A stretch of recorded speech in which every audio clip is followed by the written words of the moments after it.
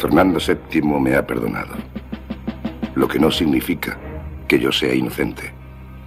Nadie es ya inocente cuando ha visto tanto y todo lo que yo he visto.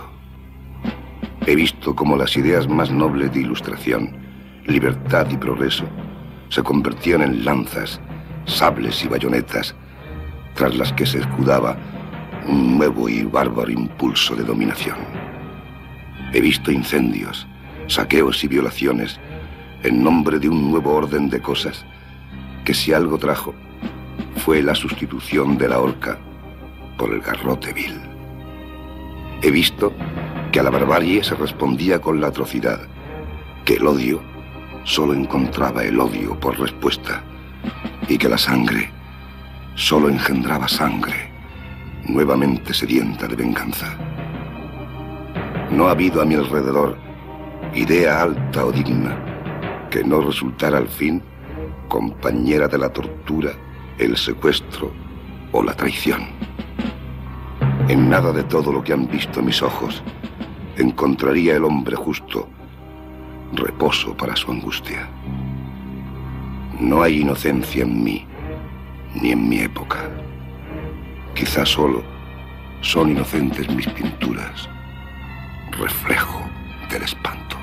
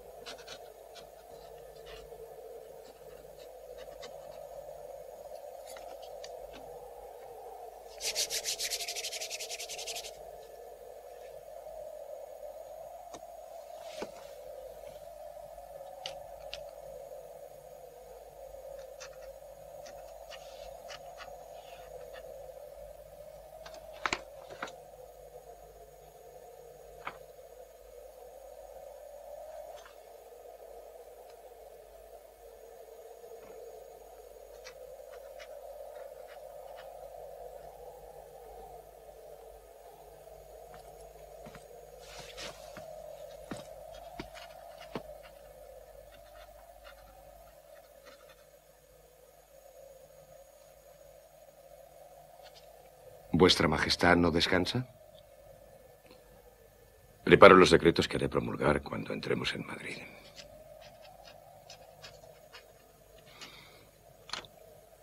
Haré felices a los españoles, aun a pesar suyo. ¿Puedo saber cómo? Acabo con la Inquisición, con los privilegios señoriales, con las aduanas interiores. De un solo plumazo conseguiré que España entre en la historia contemporánea. Nuestras patrullas han regresado, Sire. ¿Algo nuevo?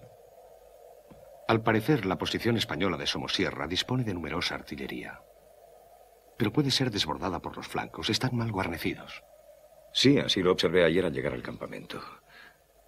Pero sin embargo atacaremos de frente. ¿De frente, Sire? Mm. Sería una pérdida de tiempo atacar por los flancos. Quiero estar en Madrid antes que las tropas del mariscal Ney. Solo a mí. Solamente a mí. Ha de deberle el trono mi hermano José. Atacaremos de frente y con la caballería. Eso es lo único que nos espera el general San Juan. Una carga de caballería en plena sierra es algo poco ortodoxo. Ya verás, duque. Los lanceros polacos van a tomar la posición como si tal cosa.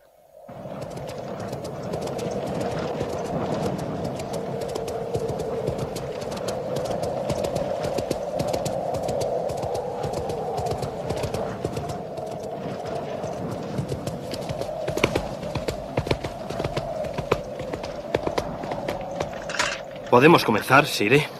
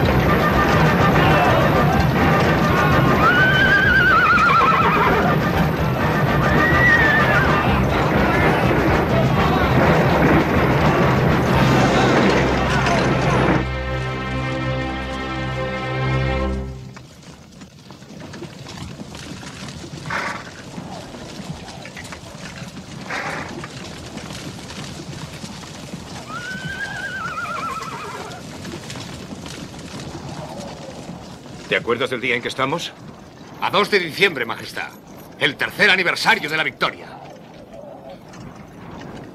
Señores, el sol de Austerlitz ilumina nuestro camino. ¡Viva el emperador!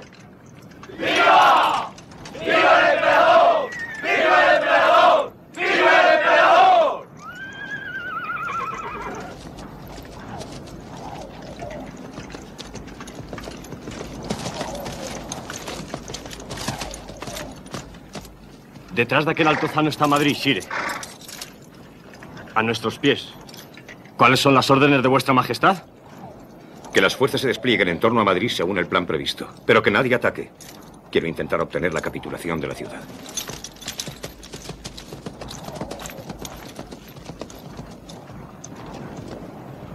Sería absurdo entregar a mi hermana una capital en ruinas para instalar su corte.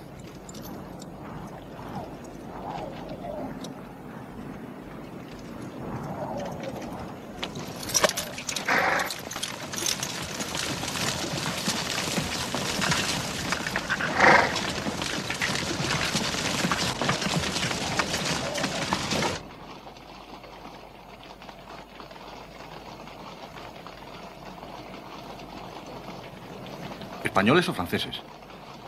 Y yo qué sé. Soldados, desde luego. Todos los uniformes se parecen.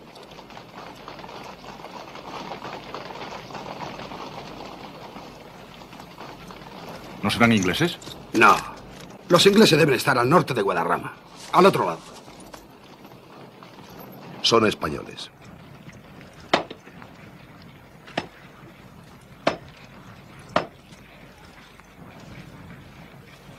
El día 2 a mediodía Napoleón estaba en Chamartín. ¿Qué pasó de la Junta Central? La Junta había salido de Aranjuez la noche anterior, hacia Extremadura. ¿Y en Madrid? ¿Quién mandaba? Nadie. El día 3 Napoleón tomó por asalto las posiciones fortificadas del Retiro. Los franceses volvieron a ofrecer la capitulación. ¿Y el pueblo? ¿Qué hacía el pueblo? Decía que había que luchar como en Zaragoza. Madrid será la tumba del francés. Eso se decía. Se abrieron fosos y se levantaron barricadas en las calles de Alcalá, de San Jerónimo, de Atocha. Se habían repartido armas a unos 8.000 ciudadanos. Pero la Junta de Defensa capituló. Al frente de la Junta estaban Infantado y don Tomás de Morla. El primero desapareció. De los demás, unos se mostraban temblorosos, otros huyeron y todos estaban pendientes de seguir los acontecimientos mientras se mantenían en lugares seguros. Ya. Y finalmente don Tomás de Morla firmó la capitulación. Luego se pasó a los franceses.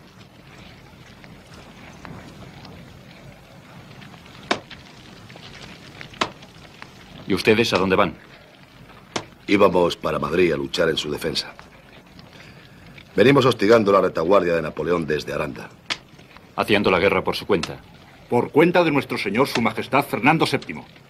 Nuestro señor está en un castillo francés.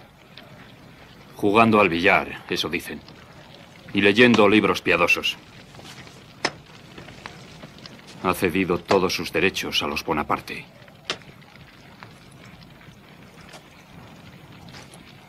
¿Y esa recua de mulas que transporta? Cuando se supo lo de la capitulación, la mayor parte de los oficiales de la guarnición de Madrid decidimos introducirnos entre las líneas francesas y proseguir la lucha. ¿Dónde? Yo voy hacia el norte. En la zona de Salamanca parece que se reconstituye un cuerpo de ejército. Y también hay ingleses. Pero dígame, capitán, ¿qué llevan las mulas? Armas y municiones, caballero. Si hacemos camino juntos, le prometo dar la mitad de la carga para su partida.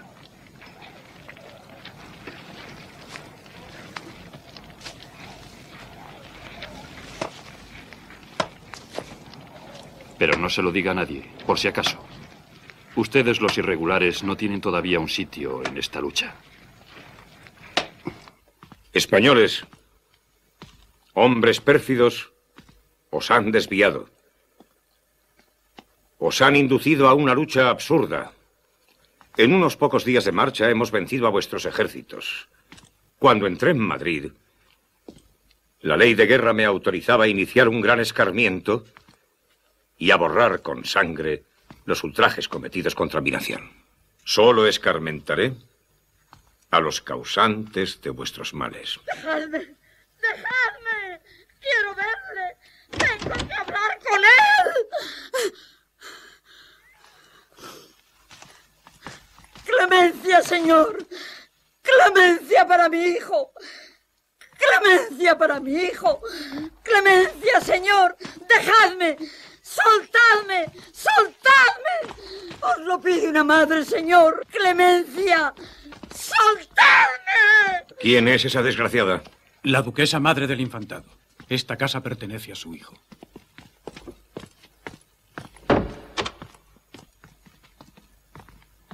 ¿Qué quería esa mujer? Su hijo, el duque del infantado, es una de las personas que vuestra majestad ha proscrito y mandado prender. Pedía su perdón. Infantado presidía la Junta de Madrid. Y ésta ha violado el pacto de capitulación al permitir que la guarnición se escape. No puedo hacer nada en su favor.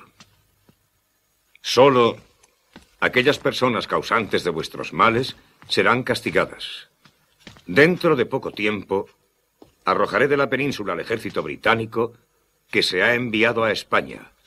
No para ayudaros, sino para inspiraros una falsa confianza y llevaros por mal camino. ¿El correo del mariscal Soult ha llegado ya? No, Sire, y me extraña. Los correos mueren a manos de los bandidos. Habrá que mandar los despachos en doble o triple ejemplar para que alguno de ellos llegue a su destino. No podemos seguir así. Tome nota, Duroc. Comunique a mi hermana José que forme un nuevo regimiento para proteger las vías de comunicación de Madrid hacia el norte. ¿Con qué fuerza, Sire? Con los prisioneros extranjeros que hemos hecho en Madrid. Guardias balones, suizos, irlandeses y también los franceses rendidos en Bailén. No quiero cobardes en mi ejército. Un regimiento de cinco batallones, de 1.200 hombres cada uno. Se llamará Real Extranjero.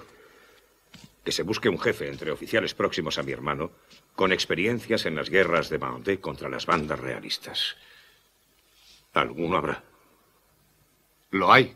El general Leopoldo Hugo. Prepare un decreto, Duroc. Lo firmaré mañana. He destruido cuanto obstaculizaba el camino de vuestra grandeza y vuestra prosperidad. Una constitución liberal os dará una monarquía constitucional y moderada en vez de una monarquía absoluta. La foré. Hay que publicar en español los decretos que firmé ayer, cuanto antes. Salen en la Gaceta de Madrid la semana próxima. Los ha traducido Marchena. ¿Marchena? ¿Marchena está aquí? ¿Sigue siendo tan feo y tan inteligente? Más feo y más inteligente que nunca, Siré.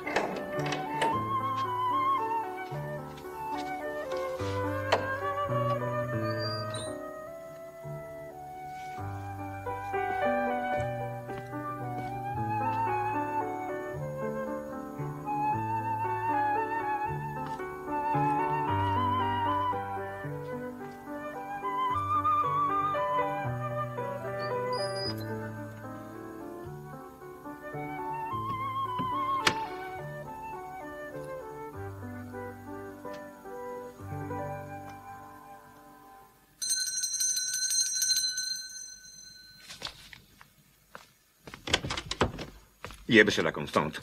Llévesela enseguida. Pero su... vuestra majestad. Estoy mal, Constant. La cabeza me estalla. La muy zorra se ha perfumado como una odalisca. ¡Apesta! ¿De dónde ha salido ese monstruo odorífero? Del Teatro de la Cruz, majestad. Me han garantizado que era virgen. Lo sigue siendo, Constant. Lo sigue siendo. Los perfumes me ponen enfermo, me trastornan. El único perfume que puedo soportar es el de las hembras en su estado puro. ¡Odore di femmina! Que se vaya, Constant, que se vaya. Dele diez mil francos de los fondos especiales, pero que se vaya.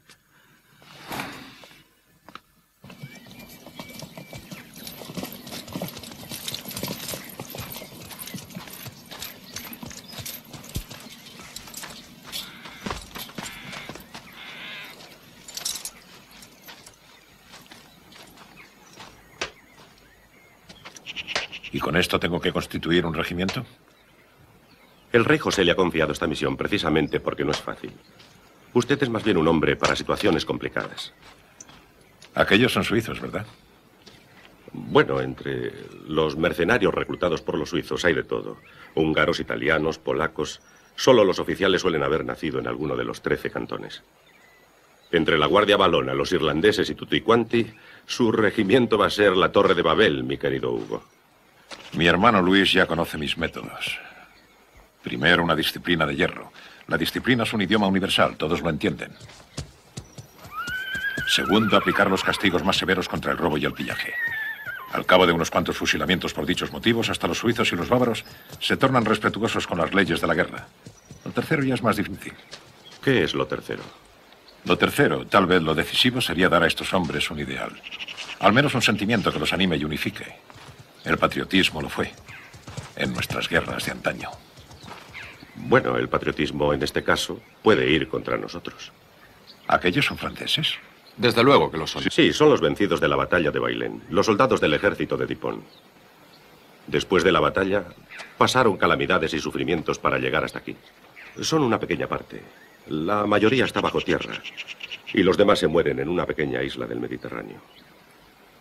Están con usted porque el emperador ha prohibido que los supervivientes de la capitulación de Bailén sean reincorporados en las tropas imperiales.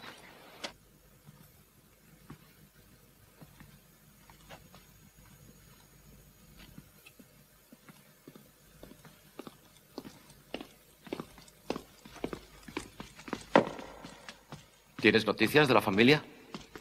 Siempre lo mismo. Mi mujer se pasa el tiempo recriminándome y pidiéndome dinero. ¿Y los chicos? Estudian. Nada particular. Yo a usted le conozco. Pues no sé, no creo. Hace ocho años, en el ejército del Rin, Estado Mayor de Moro. Sí, ahí estaba yo. ¿Y no se acuerda de mí? ¿De veras? Es la primera vez que me ocurre. La primera vez que alguien se olvida de la pinta que tengo. Aquí están, traducidos por mí, los decretos de Napoleón que fundan la Edad Moderna en España. Era mi patria, ¿sabe? Primer decreto, abolición de los derechos feudales. Segundo, supresión del Tribunal de la Inquisición. La Inquisición. Lo tengo dicho desde 1793. A ver. Aquí está. ¿No es ya tiempo de que la nación sacuda el intolerable yugo de la opresión del pensamiento? ¿No es tiempo de que el gobierno suprima un tribunal de tinieblas? Lo tengo escrito en 1793. Aviso al pueblo español. General, ¿usted qué hacía en ese año? Hacía la guerra contra las partidas realistas y clericales de los Schwanes en Bandé. Lo ve, seguimos haciendo la misma guerra, general. Eh, tercer decreto, reducción de las órdenes religiosas. Cuarto, abolición de las barreras arancelarias en el interior de España. ¡Zas, zas, zas! Este hombre es voltera a caballo, lo digo yo. Pero no lo repitan. Si lo oye Savary es capaz de abrirme un expediente. El duque de Robigó es tonto del culo. Inclusive más tonto de lo que suelen serlo los policías. Solo entiende lo que el emperador le da resuelto, comido y guisado.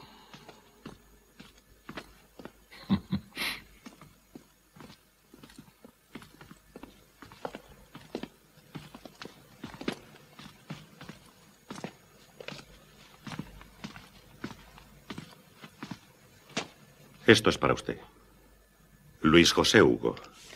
Por encargo de Su Majestad, le entrego su despacho de coronel. General, esta es su orden de misión. Se trata de pacificar las zonas al norte de Madrid y de liquidar las partidas irregulares. El empecinado. ¿Cómo he dicho? El empecinado. Es el hombre que manda la partida más grande de esa zona. Lo sé. A sus hombres les llaman los empecinados y su número aumenta cada día. Pero, dígame, ¿cómo usted... Porque tengo la impresión de que ese es mi destino en esta guerra. Acabar con el empecinado. Sin conocerle ya somos viejos amigos. Esa mujer no es. Sí, es la hermana del mariscal Monsey. Estuvo en poder de esos guerrilleros. Perdone.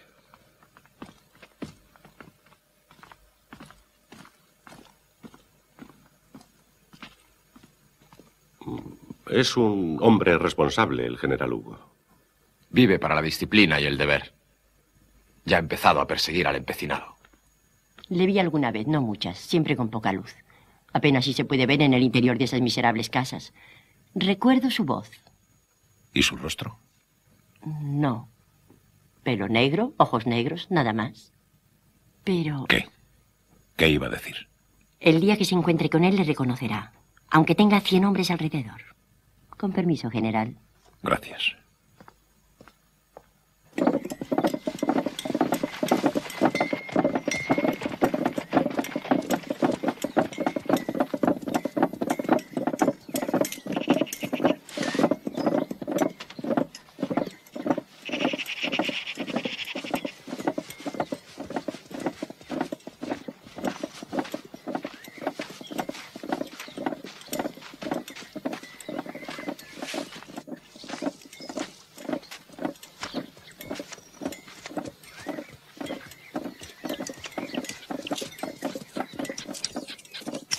Hasta ahora hemos combatido a tropas que iban de paso.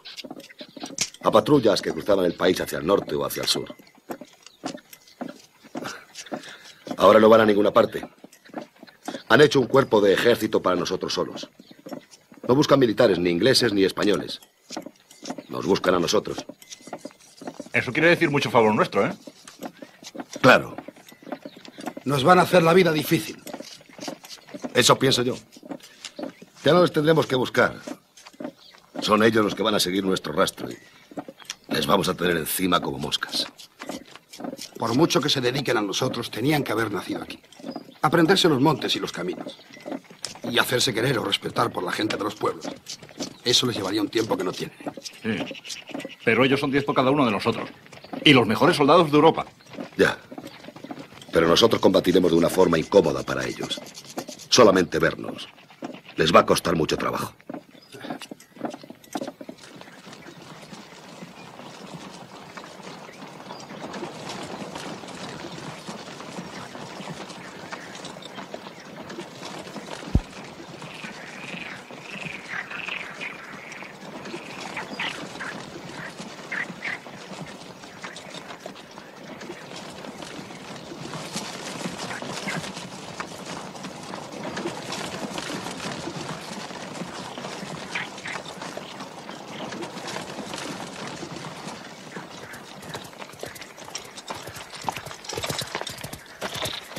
El destacamento ha sido atacado, señor.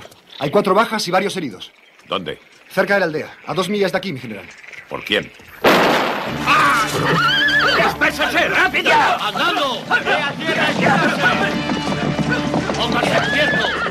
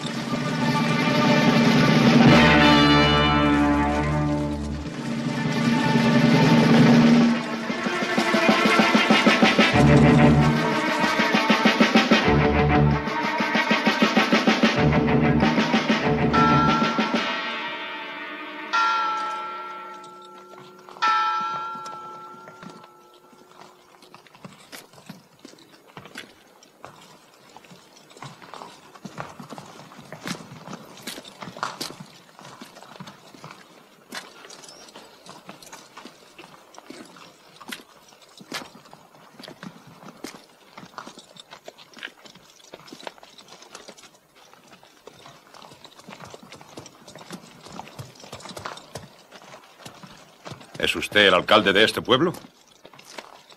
Desde hace una semana, rompiendo la paz y la tranquilidad que reinaban en la región del Escorial, varios soldados de mi regimiento han sido víctimas de emboscadas traicioneras. Todos mis informes indican que de este pueblo proceden los asesinos, o bien que aquí encontraron refugio. No tengo más remedio que proceder a un castigo ejemplar.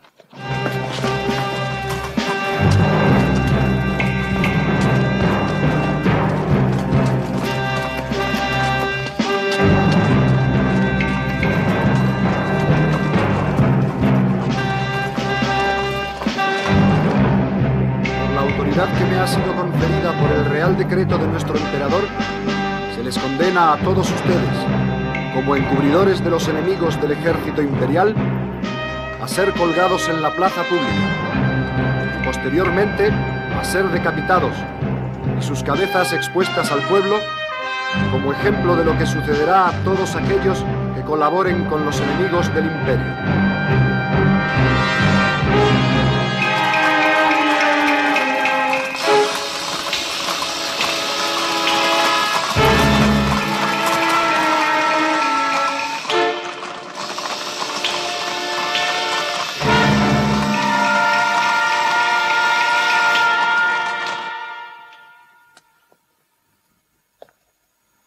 Os he hecho un espléndido regalo, querido hermano.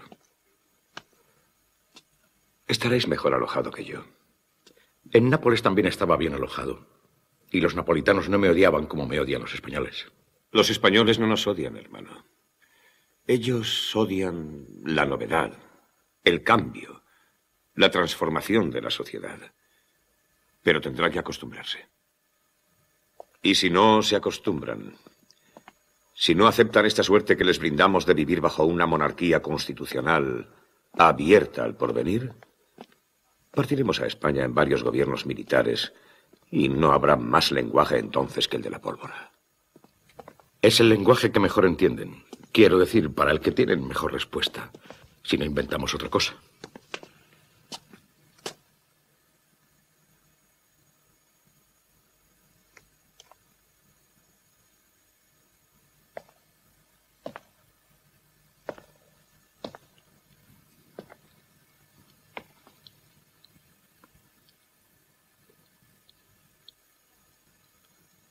No, por mar no, claro. En el mar son invencibles. Me voy de Madrid. He recibido noticias del mariscal Soult. Los ingleses no se retiran de Portugal, sino al contrario. Se despliegan hacia el noroeste. Su plan es cortar nuestras comunicaciones. Voy a caer sobre ellos.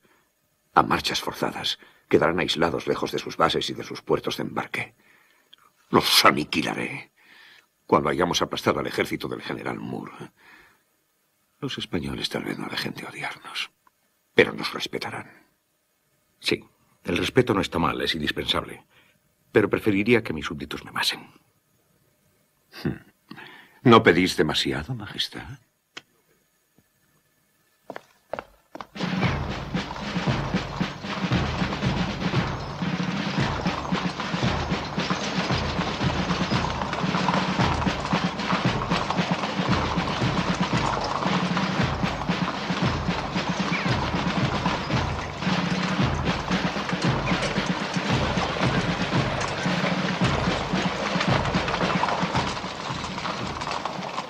Recibimos sus cartas, señor general, y apreciamos altamente su deseo de mantener buenas relaciones con nuestro ayuntamiento.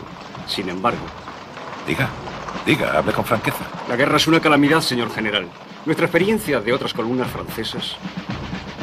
¿No ha recibido usted los mensajes del excelentísimo ayuntamiento del Escorial? ¿Y de los monjes del monasterio? Sí, los hemos recibido.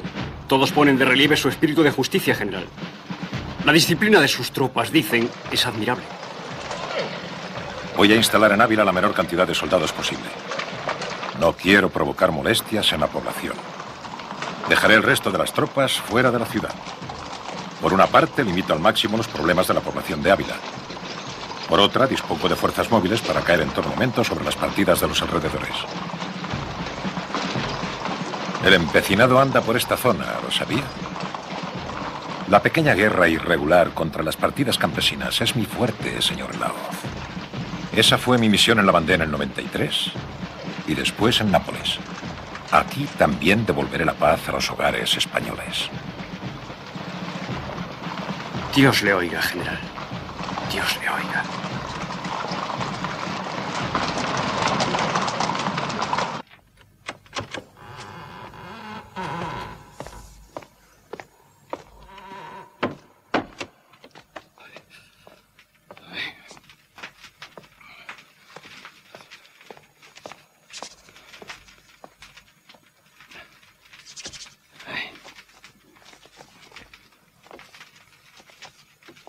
¿Se puede saber qué está pintando, maestro?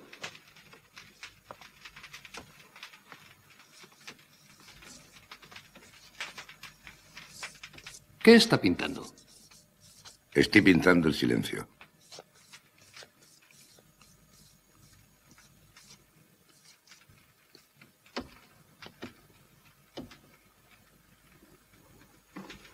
Hace tiempo que estoy esperando su regreso, don Francisco. ¿Sabe lo que me han dicho? Cuando Zaragoza cayó hace unas semanas y los franceses entraron en el despacho de don José Palafox, parece que destruyeron a sablazos los dibujos que le regalé cuando estuve allí. Los militares no suelen entender de pintura. ¿Y qué eran esos dibujos?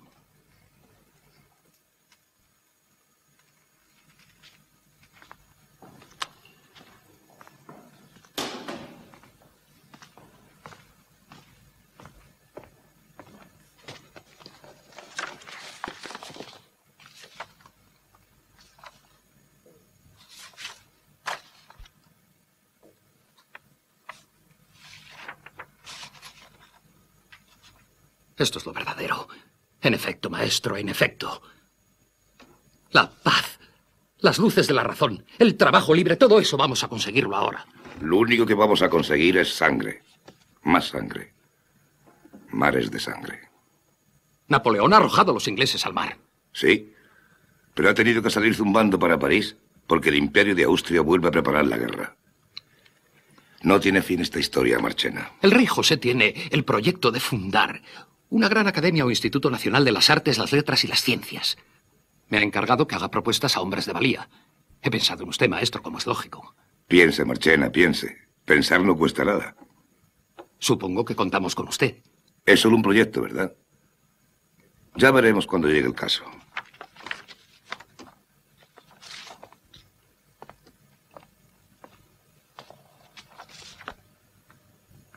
Sangre.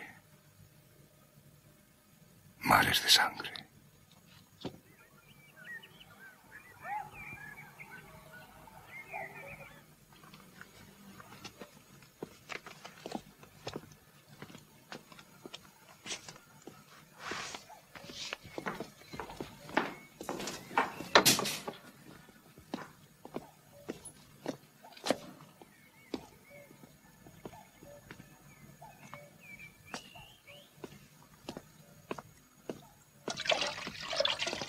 ¿Alguna cosa más, mi general?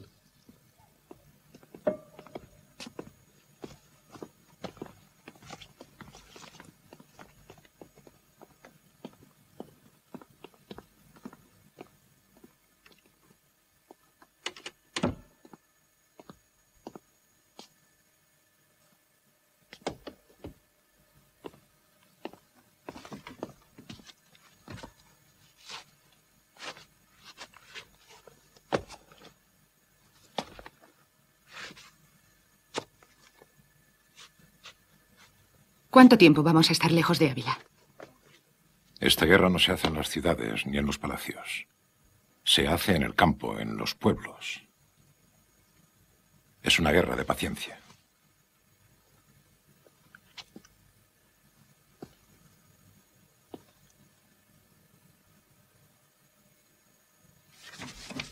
¿Por qué no te quitas el uniforme y te vistes de mujer? Así la espera la haremos más agradable.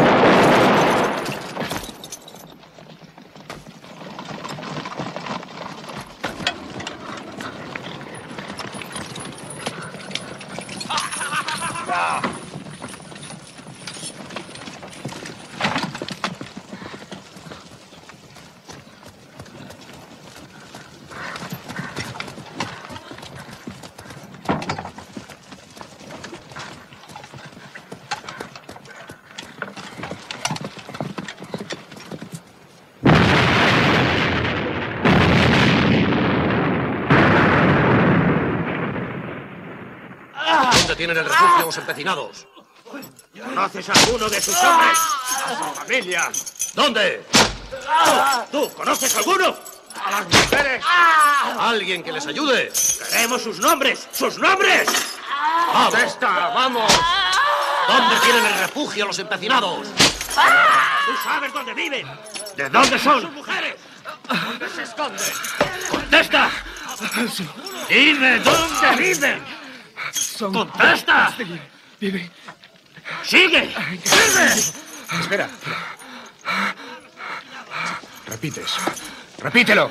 Su madre, sus hermanos viven en Castrillo, escondidos, con otros nombres, escondidos. En Castrillo. Escondidos.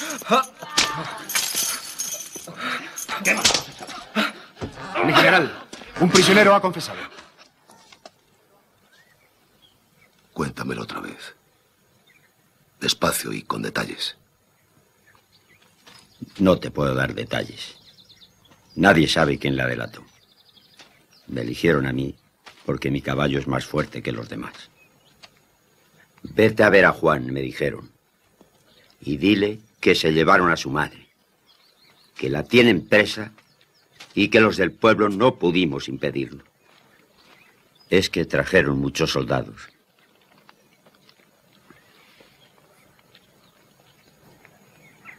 ¿Cómo se llama el francés? El general Hugo. ¿Dónde la tendrá? En la cárcel del pueblo, seguro.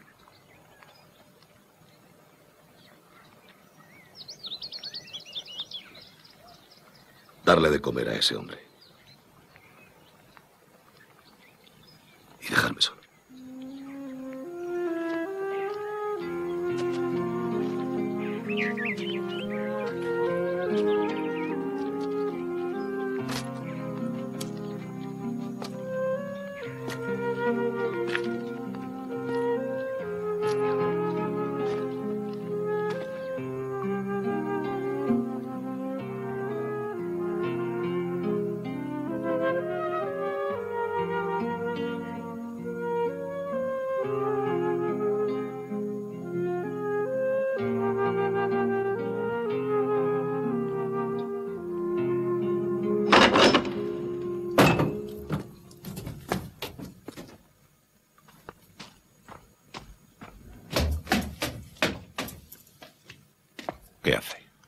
Nada. Apenas se ha movido. Se niega a comer. Obligarla.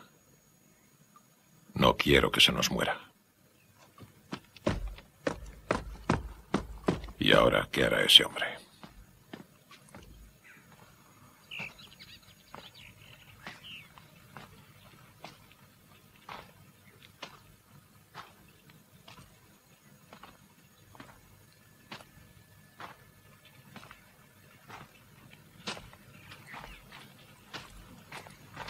Juan. Se me ha ocurrido algo. ¿Qué es? ¿Canjearla por alguien? ¿Crees que no lo he pensado? ¿Cuántos franceses tenemos que tener en nuestro poder para que ellos renuncien a mí? Generales, oficiales, soldados, ¿cuántos? No, no, no, espera, escúchame. Tendríamos que buscar una sola persona, pero que fuera muy importante para ellos. Puede ser que exista esa persona. ¿Pero quién es? ¿Cómo podemos saber dónde está? No.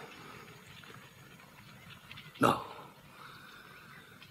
No podemos distraer nuestras fuerzas del objetivo principal. Seguiré luchando como si no tuviera madre. La otra noche, en la región de Cebreros, nuestras fuerzas hicieron estos seis prisioneros.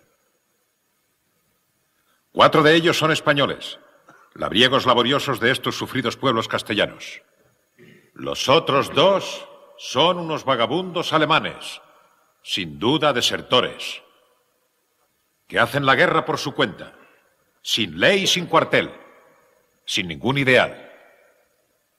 Serán fusilados dentro de unos instantes. Quien a hierro mata, a hierro muere.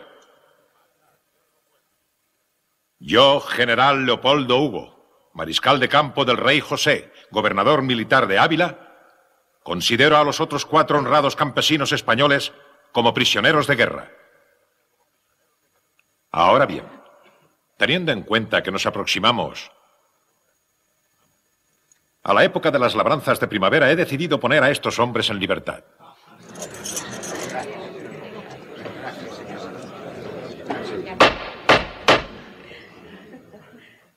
Que vuelvan a sus hogares a trabajar la tierra. Esa tierra de Castilla, de la cual el emperador Napoleón ha borrado para siempre los vergonzosos estigmas de los derechos feudales. Pero aún hay algo más. Hace algunas semanas y en justa represalia por los desmanes de sus hombres, el ejército francés detuvo a la madre del empecinado. Por cierto, si alguno de ustedes se encontrara con el señor Juan Martín, felicítenlo de mi parte. Por uno de los correos que han interceptado mis soldados, me he enterado de que la Junta Suprema le ha otorgado un real despacho de capitán de caballería. Cuando llegue a general, le invitaré a mi mesa. Le ofreceré la paz de los valientes. Sea como sea, he decidido poner en libertad a la madre del empecinado.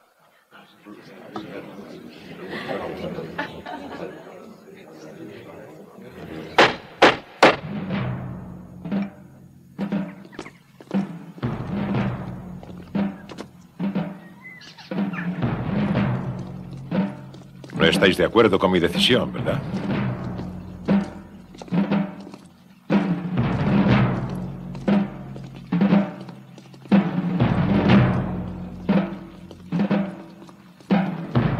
Si fueras el empecinado, ¿qué hubieses hecho tú?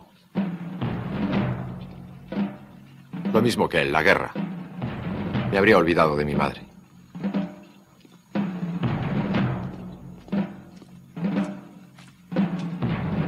¿Lo ves? A veces la crueldad no desmoraliza al enemigo, lo refuerza en su odio. En cambio, la magnanimidad lo desconcierta, siembra dudas en él. En suma, general, a esa vieja la hemos agarrado solo para poder ponerla en libertad. Exacto, Kaufman. Exacto. Por fin me ha entendido.